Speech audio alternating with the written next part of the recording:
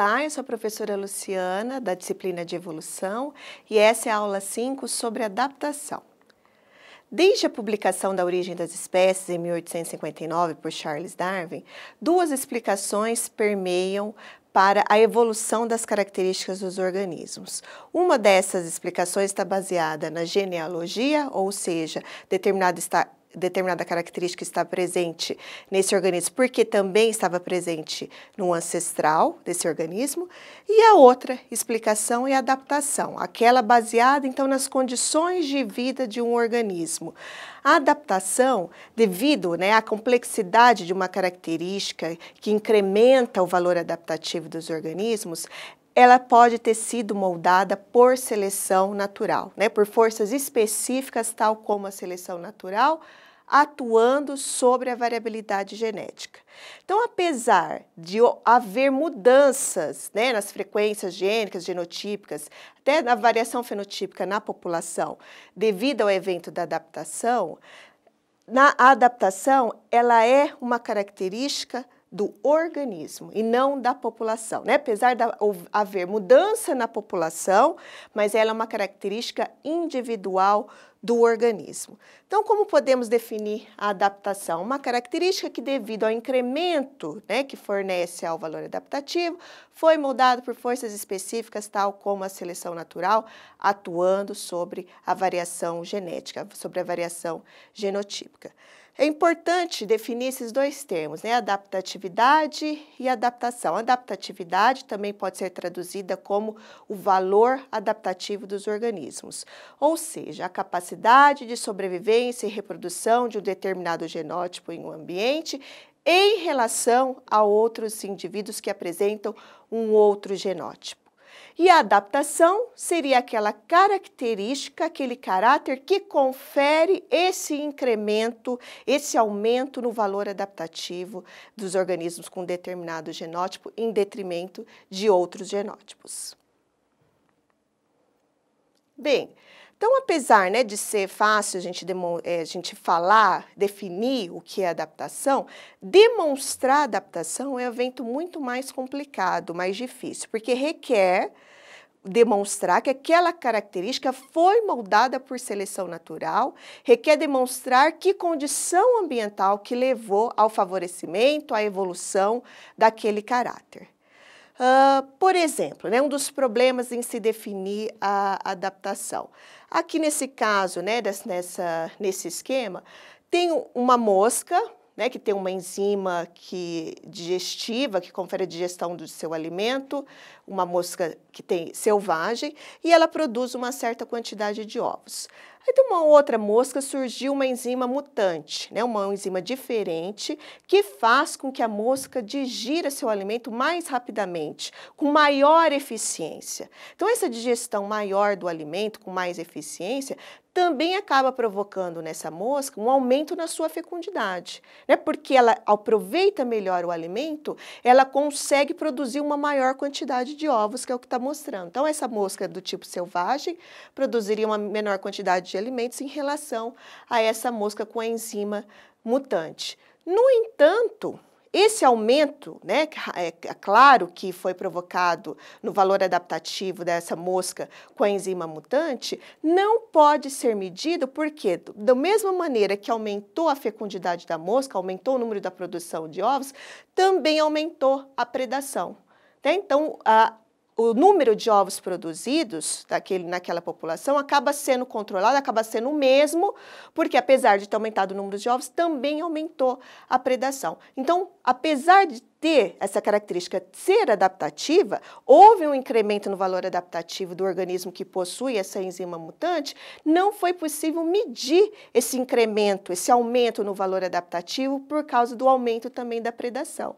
Dessa maneira, então, nem sempre um aumento no valor adaptativo da população vai significar um aumento na abundância de indivíduos naquela população, nem sempre um aumento no valor adaptativo também vai significar um aumento na taxa de crescimento da população e nem tanto também um aumento da permanência maior ao longo do tempo dos indivíduos naquela população. Então, muitas vezes isso é difícil de medir, né? Então, essa é uma das dificuldades de se estudar, de se demonstrar que uma característica é adaptativa. Uh, qual outro problema? Né? Então, se não, às vezes eu não consigo medir, eu posso inferir que se uma característica é complexa, então ela é adaptativa, porque uma, um caráter complexo só pode ser moldado por uma força específica, tal qual a seleção natural. Bem, uh, como medir a complexidade? Como que eu falo? Essa característica é complexa, então ela só pode ter sido moldada por forças de seleção natural, então ela é adaptativa. O que pode né, ser complexo para um determinado pesquisador, para outro pesquisador pode ser uma, uma característica relativamente simples. Então, muitas vezes a complexidade na característica está nos olhos de quem vê, ou seja, né, medir a adaptação pela complexidade é muito subjetivo. E também porque nem todas as adaptações são complexas, né? Apesar né, de que um, uma, uma característica complexa provavelmente requerer um evento tal qual a seleção natural para sua evolução, mas existem adaptações que são relativamente bem simples. Uh, nem sempre também uh, um padrão complexo tal qual a hemoglobina, que está mostrando o esquema, então, da hemoglobina, que é composta né, por é, duas subunidades alfa, duas subunidades beta, existe o grupo M no interior dessa, de cada uma dessas subunidades, onde ocorre a ligação do oxigênio, Obviamente, a hemoglobina é uma molécula complexa e, como tal, foi moldada por força de seleção natural e é uma molécula adaptativa especializada no transporte de oxigênio no sangue de, de mamíferos. No entanto, as variações na sequência de aminoácidos da hemoglobina que existe entre indivíduos, que existe entre espécies, não é adaptativa. Então, o caráter hemoglobina, a molécula hemoglobina como um todo, ela é uma molécula adaptativa. Mas essas variações em suas sequências de aminoácidos, que existe entre indivíduos de uma mesma espécie ou entre indivíduos de espécies diferentes, não são adaptativas. Muito frequentemente, essas variações, essas fixações de aminoácidos diferentes em algumas regiões da molécula da hemoglobina são neutras, né? não são adaptativas. Ou seja, não traz nenhuma vantagem e nenhuma desvantagem na fixação dessa mudança na, na cadeia polipeptídica. Podemos usar, então, né, para inferir, para poder estudar se uma característica é adaptativa ou não, uh, a intuição biológica. Então, muitas vezes, eu reconheci um caráter, descobri uma característica no organismo e, e, pela estrutura dessa característica, eu posso intuir, né, ter uma intuição biológica de que aquele caráter tem uma função importante no organismo. Então, o primeiro passo para se saber se um caráter é adaptativo ou não é mostrar, demonstrar a função. Eu consigo demonstrar a função desse caráter, eu consigo também inferir qual foi a condição ambiental em que aquele caráter pode ter surgido e ter favorecido o organismo, o desenvolvimento do seu, do, desse organismo no ambiente. Uh, um exemplo disso, né, da intuição biológica, foi a descoberta das ampolas de Lorenzini nas arraias e tubarões. Quando foi descoberta as ampolas de Lorenzini, ficou muitos e muitos anos sem conhecer a sua função né? mas se intuía que aquele, aquela característica tinha uma importância biológica, tinha uma função importante para aqueles organismos. E hoje se sabe né, que é o reconhecimento de as ampolas de Lorenzini, por exemplo, uh, tem a função de reconhecimento de presas no lodo. Então, mas se você estuda um caráter por muitos e muitos anos, tenta demonstrar a função daquele caráter, mas não encontra uma explicação, uma função, alguma característica do ambiente que pode ter contribuído para a evolução daquela característica uh, no organismo, então pode-se abandonar a hipótese de que aquela característica seja adaptativa e procurar outras explicações para a evolução daquele caráter, para a existência daquela característica, como, por exemplo, pode ser tá baseado na história filogenética do organismo, ou seja, tá, aquele caráter está presente no organismo porque estava presente no ancestral desse organismo.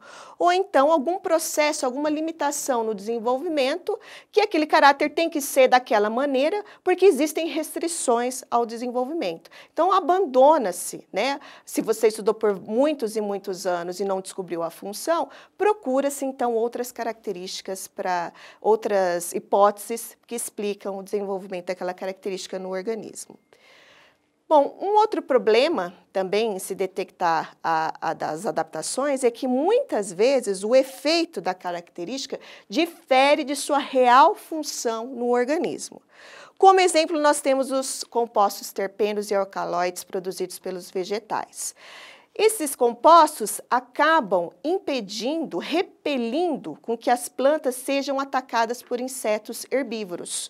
No entanto, a função desses compostos não é essa. A função desses compostos nos vegetais provavelmente não é a de repelir os insetos herbívoros. Pode ser que as, eles tenham, os terpenos e alcaloides, tenham uma outra função dentro da, da, da planta, né, dentro do vegetal, ou ainda que os terpenos e alcaloides sejam uh, resíduos do metabolismo secundário desses vegetais. E acidentalmente, esses compostos então acabam também beneficiando né, a planta por repelir os insetos herbívoros, mas não foram desenvolvidos com a função de repelir os insetos herbívoros. Né, os terpenos alcaloides teriam funções diferentes dessa na, nas plantas. Outro exemplo seria dos mecanismos de isolamento reprodutivo. Nós vamos falar né, mais é, sobre esses mecanismos de isolamento reprodutivo em aula futura. Esses mecanismos de isolamento reprodutivo acabam por impedir o fluxo gênico entre espécies diferentes. Mas apesar do nome indicar isso, né, mecanismo de isolamento reprodutivo, a função né, do mecanismo de isolamento não é essa, não surgiu para impedir o fluxo gênico. Ele acaba por impedir o fluxo gênico. Mas, na verdade, essas diferenças reprodutivas são acidentais da diferenciação genética que surgiu entre essas espécies ao longo do tempo evolutivo. Então, as diferenças adaptativas a, a ambientes distintos levou também a alterações na reprodução entre esses organismos de tal modo que eles não mais se reconheçam como uma mesma entidade biológica, mas não que os mecanismos de isolamento reprodutivo surgiram com a função de evitar o fluxo gênico entre espécies, né? apesar do nome eh, ser infeliz de indicar isso. Bem, então como estudar as adaptações? Né? Darwin havia proposto a metodologia da comparação por, seria mais interessante se estudar adaptação com as analogias, ou seja, características que determinados grupos compartilham por viverem no mesmo tipo de ambiente. E esses grupos não são relacionados necessariamente filogeneticamente. Então, para vocês poder inferir se um caráter é adaptativo, é preciso contar, por exemplo, quantas vezes na história evolutiva esse caráter apareceu independentemente e que contexto ambiental favorece o aparecimento daquele caráter, mesmo em grupos que são diversos, que não são relacionados filogeneticamente, né, que tenham então aparecido por evolução convergente de adaptação a um determinado tipo de ambiente. Por exemplo, a ausência de folhas em plantas de áreas desérticas, em plantas de clima seco. Então, várias espécies de plantas, não muito relacionadas filogeneticamente, apresentam essa adaptação por viverem numa uma zona de área mais seca. Né? Então, a, a, a folha em espinho evitaria a, um, a ao aumento da perda de água. Então, e se essa característica está presente em grupos que não são filogeneticamente relacionados, né, então elas surgiram por evolução convergente. Então, isso já nos daria uma indicação de que esse, caráter uh, ele é adaptativo. Né? Se ele apareceu independentemente, sem relação filogenética, o que é, tem em comum é um ambiente, um determinado ambiente, então provavelmente a função daquele caráter está relacionado no aumento do valor adaptativo dos, in, dos indivíduos, dos organismos que vivem em um determinado ambiente. Então, por isso também o estudo da adaptação tem que estar muito relacionado com a história filogenética dos organismos, porque muitas vezes grupos que vivem no mesmo ambiente podem compartilhar um ancestral comum, e às vezes aquela característica está presente naquele grupo simplesmente porque estava presente no ancestral. Então, é importante ver a independência do surgimento da, do caráter para se inferir que ele é adaptativo e também a condição ambiental que favoreceu o aparecimento daquele, daquela característica. Bom, existe né, uma, alguns autores que lançaram o que foi chamado de programa adaptacionista. Segundo esses autores, todas as características dos organismos são adaptativas. Os organismos são quase ótimos nos seus ambientes e todas as diferenças entre espécies se devem às diferenças em adaptações a ambientes diferentes. Se deve por seleção natural, então, a ambientes diferentes. Então, a crítica a esse dito programa adaptacionista é de que nem todas, já foi explicado isso, nem todas as características são adaptativas. Os organismos não são quase ótimos no seu ambiente e as espécies podem diferir por outros processos diferentes da seleção natural Né? Nós vamos ver outros processos evolutivos que pode também estar relacionados com as diferenças entre espécies. Então, não só as diferenças entre espécies, não, só, não são apenas diferenças adaptativas a ambientes distintos. Como relação né, à crítica a esse programa adaptacionista, uh, que essa crítica né, mais ferrenha veio de Gold e Leontin, eles davam um exemplo, por exemplo, que foi, que foi descrito por, por Charles Darwin, para explicar que as suturas dos crânios do, de mamíferos era uma adaptação, né, agora eu estou copiando Darwin, maravilhosa para o parto. Então, o parto dos mamíferos, com certeza, só pode acontecer porque existem essas suturas cranianas. Então, o encontro né, de cada uma dessas partes do crânio só acontece depois do nascimento. Então, o crânio, na vida intrauterina, ele ainda é maleável. Essa maleabilidade propiciaria para os mamíferos, então, passarem pelo canal vaginal, antes do que se o crânio fosse apenas duro. Isso não, não conseguiria haver o nascimento se o crânio fosse uma estrutura mais enrijecida antes do, do nascimento. Bem, então se as suturas dos crânios né, de mamíferos seriam adaptações, ou teriam sido moldadas para o parto, para a passagem pelo canal vaginal, então ela teria que ser específica dos mamíferos. No entanto, vejam vocês que as aves né, e os répteis também apresentam essas suturas cranianas. E aves e répteis não têm que passar por um canal vaginal. Né? Ele só tem que quebrar os ovos para nascerem. Então, né, apesar de que as suturas cranianas, e somente porque existem essas suturas cranianas nos mamíferos é que foi possível o parto dos mamíferos, o meio de nascimento dos mamíferos, essa característica não foi moldada com essa função. Né? As suturas cranianas não foram, não são características adaptativas com a função de permitir o nascimento dos mamíferos, porque ela também está presente em aves. Então, qual que é, seria a função dessa, por que, que é, existem essas suturas no crânio de mamíferos? Porque ela estava presente num ancestral comum ali entre aves, répteis e, e, e mamíferos. Então, já estava presente no ancestral. Então, o, o Gold e o Leontin deram nome a essas características de exadaptação. O que, que seria isso? Características com valor adaptativo atual, como as suturas no crânio de mamífero, mas que não foram desenvolvidas para o seu papel atual. Né? Porque as suturas cranianas já estavam presentes em aves e répteis que não têm o nascimento por um canal vaginal.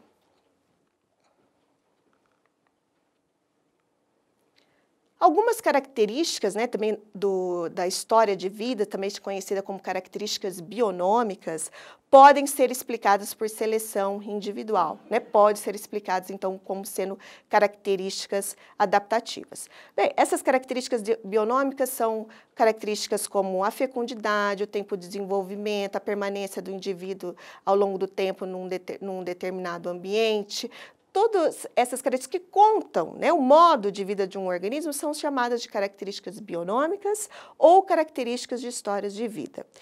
Com relação, por exemplo, à reprodução e à senescência, ou seja, a reprodução e o envelhecimento.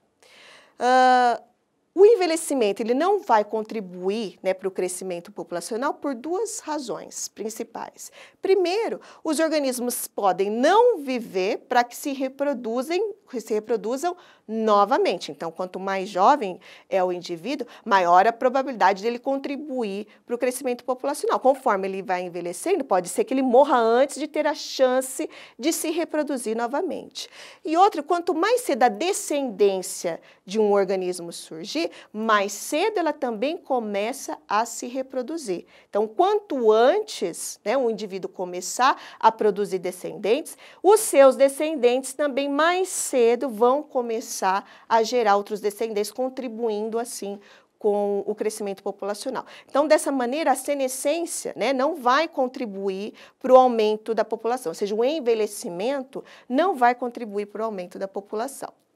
Bem, então se a senescência né, não teria um não seria vantajosa, como é que existe, né? Como que a maioria dos organismos envelhece? Existe aquele aumento dos caracteres degenerativos num organismo depois de uma certa, de uma certa idade. Então, a evolução dessa característica da senescência, do envelhecimento, pode ter sido dada por genes que teriam um efeito vantajoso no início da vida dos organismos. Então, o gene é vantajoso até certo ponto, traz vantagens até certo ponto da vida do organismo, mas depois que esse indivíduo provavelmente já se reproduziu e já passou esses genes para frente, é que começam a aparecer os efeitos deletérios desse gene, efeitos pleiotrópicos, ou seja, um gene atuando em diferentes características, isso é pleiotropia, uh, para deletérios para os organismos. Então, no início da vida, um gene teria uh, funções vantajosas no início da vida e desvantajosas após a reprodução. No entanto, como as características desvantajosas aparecem depois que o indivíduo se, reproduz, se reproduziu, esse gene já passou, foi passado para a próxima, próxima geração. Então, desse, dessa maneira que pode ter é, surgido, né, contribuído para a evolução da senescência dos organismos. Um exemplo né, de genes com esse que não tem efeito até uh, depois, né, só tem, apresenta o efeito deletério após a idade reprodutiva, existe a doença causar, que é a Coreia de Huntington causada então por um alelo dominante. O efeito da Coreia de Hunt, que é uma doença degenerativa, ela só aparece no indivíduo depois que ele tem lá pelos 30, 40 anos. De modo que a fecundidade dos indivíduos com Coreia de Huntington, que é uma doença degenerativa séria, é a mesma do que os indivíduos da população que não tem Coreia de Huntington. É porque quando os efeitos aparecem, esse indivíduo provavelmente já se reproduziu, né? Só para fazer uma analogia de como seria um efeito deletério de um gene surgir somente depois que o indivíduo se reproduziu, então fazendo com que esse gene permaneça ainda, apesar de deletério, uma certa frequência na população. Outro caráter né, de história de vida uh, que pode ser explicado por seleção individual, pela adaptação, seria com relação à heteroparidade e à semioparidade. A semioparidade seria uma única ninhada grande, né, num período bem cedo de vida do organismo. E a heteroparidade seria reproduções sucessivas, né? não a reprodução não se restringiu a um único período. a heteroparidade, o menor número de indivíduos sendo gerados, mas sucessivamente ao longo da, da vida desse, desses organismos. Teoricamente, então, o indivíduo ótimo né, teria essa un, uma ninhada única grande numa idade mais precoce possível, ou seja, o indivíduo ótimo teria a semioparidade. No entanto, que características que poderiam favorecer a heteroparidade, né? a reprodução uh, seriada em diferentes fases da vida do organismo? Quando a probabilidade de sobrevivência do adulto é alta e a taxa de crescimento populacional ela não é tão alta, ela é baixa. Nesse caso, né, a probabilidade de sobrevivência do adulto ser alta e a taxa de crescimento populacional ser baixa, pode favorecer, então, a, o desenvolvimento da heteroparidade. Por exemplo, as árvores e os peixes precisam né, que ocorra um aumento do seu tamanho corporal e conforme vai aumentando o seu tamanho corporal, também vai aumentando a fecundidade ao longo do tempo. É, então, ele pode até se reproduzir quando ele ainda não está no seu ótimo de tamanho corporal e fecundidade. Ele vai deixando o menor número de descendentes. Mas quando ele atinge o máximo de tamanho corporal, é quando ele vai deixar um maior número de descendentes. A semioparidade, por outro lado, pode ser favorecida quando a probabilidade de sobrevivência do adulto é muito baixa. Como no caso do salmão, né, os, aquelas espécies de peixe do gênero, do gênero o salmão ele tem que fazer uma luta, né, uma, uma luta epopeica, até correnteza acima do rio, muito exaustiva para se reproduzir, né, para de, conseguir depositar os seus ovos. E provavelmente essa é a única oportunidade que ele vai ter. Né? Depois dessa subida contra a corrente no rio, é, geralmente esses indivíduos já morrem, eles se reproduzem e morrem. Então a probabilidade deles sobreviver na idade adulta é muito baixa. Então a oportunidade que ele tem para se reproduzir é aquela. Quando ele conseguiu passar, subir corrente acima, essa vai ser a única oportunidade que ele tem de deixar descendentes. Então aí deixa aquele monte de ovos daquela ninhada e vai ser uma vez só. E provavelmente também essa grande quantidade de ovos, né, muitos deles não vão conseguir sobreviver. Então, em tese, né, um indivíduo, né, teoricamente, um indivíduo ótimo seria semêuparo, mas por essas características que nós escrevemos agora, o indivíduo ótimo, realmente, só para mostrar né, que é, nós somos contra o programa adaptacionista, que não, nem todos os organismos são ótimos no seu ambiente, o indivíduo ótimo teria que ter reprodução, né? Uh, quando o seu tamanho corporal atingisse uh, o maior tamanho possível e, logo, um, a maior fecundidade também possível com aquele, com aquele tamanho corporal e uma única ninhada ninhada grande, né, numerosa, com vários indivíduos. Esse sim seria um indivíduo ótimo, mas que não existe na, na natureza, né? Ou existe a semioparidade ou a heteroparidade. Com relação ao tamanho da prole, tamanho de comprimento, também está relacionada com o tamanho numeroso, né, de números de indivíduos. Uh, um tamanho, quando a sobrevivência não é muito afetada pelo tamanho inicial do ovo ou do embrião, o que existe é um aumento do número de indivíduos na prole. Então, pode-se deixar numerosos ovos de tamanhos diminutos. Isso pode ser vantajoso quando a sobrevivência não é muito afetada pelo tamanho inicial do, do embrião ou do ovo.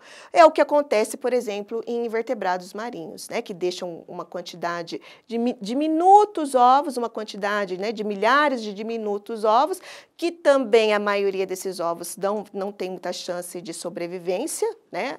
poucos desses milhares de ovos que são deixados no oceano vão se desenvolver. Agora, quando a sobrevivência né, do ovo ou de uma semente de planta, por exemplo, é afetada pelo tamanho inicial, o que acontece é um menor número de indivíduos na descendência. Então, uma prole de tamanho maior, porém um menor número de indivíduos sendo gerados. Por exemplo, né, uma maior tamanho de semente ou de ovo proporciona também um maior tamanho juvenil. Uh, uma semente muito pequena, por exemplo, pode não ter força, não ter nutriente para que o embrião se desenvolva a ponto né, de conseguir luz para a fotossíntese ou a ponto de desenvolver um sistema radicular eficiente para tirar nutrientes da terra. Então, uma semente um pouco maior favoreceria a sobrevivência né? O, o tamanho inicial seria importante na determinação da sobrevivência. Com um tamanho, uma semente de tamanho maior, ou seja, uma maior quantidade de nutrientes, o embrião teria mais força para atingir a luminosidade e fazer fotossíntese e produzir um sistema radicular eficiente para tirar nutrientes do solo. Então, um maior tamanho, porém um menor número de descendentes nessa prole. Outro aspecto importante da adaptação, então, seria a seleção sexual. Bem, as fêmeas, de modo geral, né, vamos dizer assim, de maneira geral, têm um gasto energético, material e de cuidado parental na sua reprodução com seus descendentes do que os machos. Então, logo, né, como a fêmea tem muito mais a perder, teria muito mais a perder com um cruzamento que não tiver, que não tenha sucesso, que não seja de sucesso, as fêmeas acabam sendo mais seletivas com relação à reprodução do que os machos, né? Enquanto os machos podem procurar parceiros que são totalmente inapropriados. Mas como o custo de um cruzamento que não seja de sucesso, ele recai mais sobre a fêmea, que gasta mais energia, mais material e mais cuidado parental do que o macho, então a a seleção da fêmea né, na procura do seu parceiro é mais intensa do que no macho.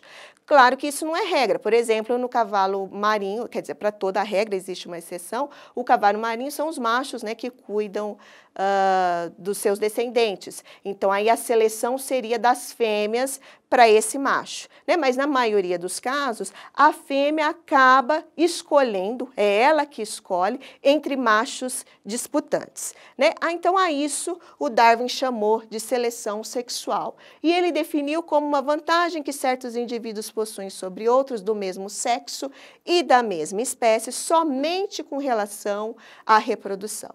Né? Então, por causa da preferência da fêmea, né, da fêmea selecionar mais o seu parceiro reprodutivo, a seleção sexual acaba sendo mais intensa nos machos, né, porque são eles que estão sendo escolhidos pelas fêmeas. Essa seleção é, sexual ela tende a ser muito mais intensa em espécies polígamas, né? aquelas espécies que têm vários parceiros ao longo do seu período reprodutivo. E com essa intensidade da seleção se sexual em espécies polígamas, acaba aumentando o dimorfismo sexual, ou seja, aquelas diferenças bem marcantes entre os machos e as fêmeas de uma determinada espécie, sendo geralmente o macho o indivíduo mais vistoso, ou que apresenta apresenta um caráter mais diferente que ele utiliza no display, né, na corte, na apresentação, ah, ah, no, com a função de atrair a fêmea para a reprodução, né? mostrando, fazendo com que a fêmea o escolha para se reproduzir entre outros machos disputantes. Então, por exemplo, tem aqui diferenças né, na coloração, na plumagem. Veja, o, o pavão macho, né, ele é muito mais vistoso do que a fêmea, né? A fêmea não tem essa cauda aqui que o pavão macho mostra, balança para atrair a fêmea, para que a fêmea o escolha como seu parceiro reprodutivo. Aqui inseto, mostrando também uma diferença bem grande entre o macho que existe nessas né? estruturas cefálicas aqui nesse besouro que não tem na fêmea. Ele utiliza, né, essa estrutura é, cefálica tanto para disputar com outros machos e também como um caráter de display da corte na sua apresentação para a fêmea. E os cornos, né, aqui mostrando em mamíferos, né, mostrando então um cervídeo macho com os cornos e a fêmea que não apresenta esses cornos.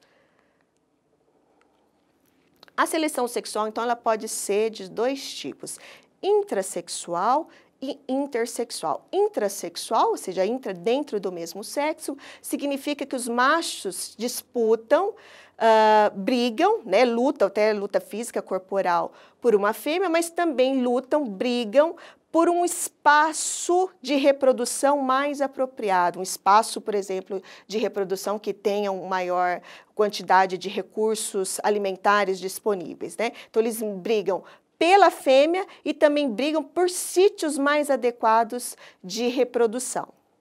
Aqui tem um exemplo dessas focas elefantes, né, que tem quanto da, uh, do, do gênero Mironga.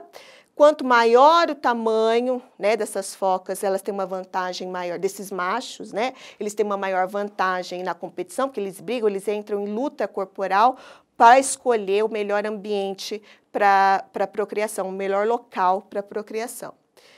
Agora, a seleção intersexual é aquela da preferência da fêmea. Né? A fêmea escolhendo machos com determinadas características. A fêmea, a preferência da fêmea pode ser tanto aleatória, ela prefere esse caráter ao invés daquele aleatoriamente, poderia ser ao contrário, preferir o outro ao invés deste.